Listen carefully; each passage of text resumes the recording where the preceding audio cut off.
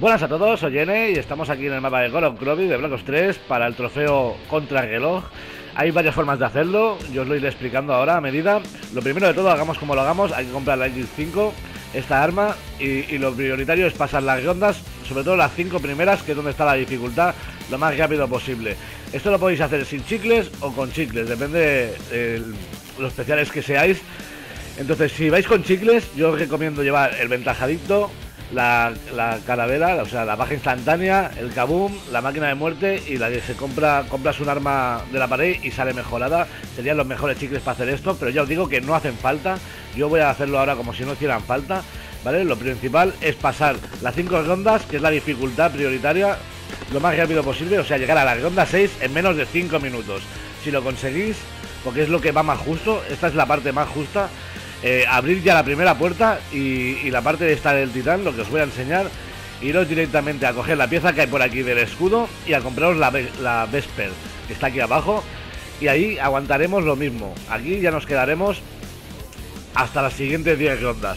Podemos hacer más cosas, pero lo principal es esto. Os cambiáis la pistola y os quedáis con esto. El beneficio de hacerlo en las 5 primeras rondas en el tiempo es esta llave, que os ocupa un hueco y sí, mata de un golpe, pero no vale la pena, yo os lo digo, no vale la pena. Así que bueno, yo, como ya hemos ganado un poco de tiempo y hasta la ronda 11 nos dan un poco de margen, unos 3 minutos, pues yo os aconsejo que entre la 8 y la 9 abráis la luz y os cambiéis eh, la pistola del principio o la llave si la habíais cogido por la M8A1 y que cogéis la pieza del escudo de esa zona ya también. Entonces ya bajéis aquí abajo y aguantéis hasta la ronda 10. Aquí vamos a aguantar perfectamente. Aquí veréis que hasta la M8A1 va a ir bien hasta para los centinelas. Ahí va a venir uno ahora para que veáis que si apuntáis a la cabeza muere como si nada. Así que va perfecta. Ya os digo, la bestia tenéis aquí munición infinita y tal. Cuando llegue la 10, que faltará una ronda, van a venir las Valkyrias. Entonces aprovechar para abrir esta puerta, buscar la pieza del escudo que os falta y ir a compraros el tiro doble. Esto, claro, si no usamos las, los chicles, como decía, con el ventajadito y tal. Ya pues construimos, matamos la Valkyria, pasaremos eh, el desafío. Ahí podremos coger ahora una daga, pero que yo os digo que no os vale la pena. Y simplemente ya tenemos esta parte de la zona. Yo cuando lo hice en directo, por ejemplo, ya me quedé en esta parte, en la de los tanques, y ya podéis aguantar hasta la mente tranquilamente. La bestia la cambiáis por la, la KN y ya podéis aquí que quedaos hasta el final. Cada ronda comprar munición y tal. Si os queréis complicar un poco la vida porque queréis mejorar las armas y tal, pues bueno. Como ya hemos dado la luz, cogéis el fusible cuando llevéis dos o tres rondas que hayáis ganado algo de tiempo y con ayuda del escudo, porque si no con las armas solo no vais a poder defender esto, pues eh, ya habéis visto, lo he dejado entero, uso, uso el escudo un par de veces. ¿Os quedáis sin munición de escudo? Pues como aquí, me lo rompo y vais a buscar más. Os aconsejo que ya aguantéis hasta la tercera parte, que es aquí, como veis, yo lo he hecho en 21 minutos y eso que he perdido el tiempo de hacer las tres partes del dragón, ¿vale? Y bueno, me han sobrado tres minutos, o sea que tiempo tenéis de sobra para perder.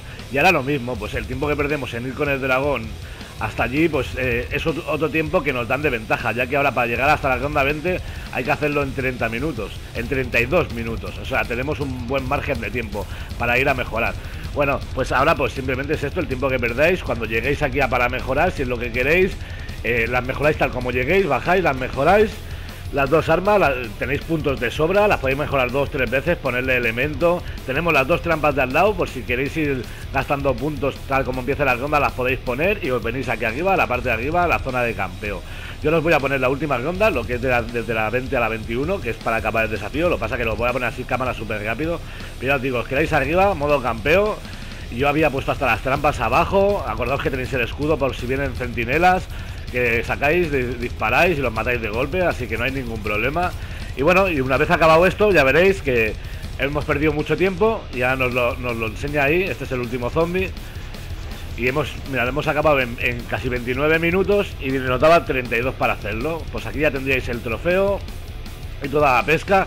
Ahora si queréis podríais ir a buscar el, o sea, lo que os dan por haber hecho el contrarreloj en la ronda 20 que bueno, en la 5 era la llave inglesa, la 10 es una daga, la 15 es una hacha y aquí en este caso en la 20 ya es la espada. Pero igualmente lo encuentro una cosa inútil totalmente, porque solo mata de uno en uno. Entonces sí, es como un cuchillo Bowie que mata, no sé, hasta la ronda 30. La verdad que no lo he probado hasta que ronda mata, pero mm, sinceramente es bastante inútil, solo es por el trofeo. Es bueno, y como siempre espero que os haya servido. Si es así, dadle un buen like y nos vemos al otro lado. Una cosa más, en la descripción os dejaré el directo que hice haciéndolo con chicles y el directo que lo hice haciéndolo sin chicles.